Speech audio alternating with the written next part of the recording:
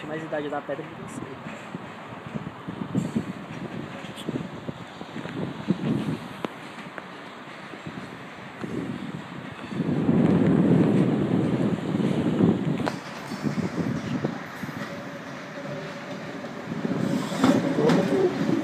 Cenoura.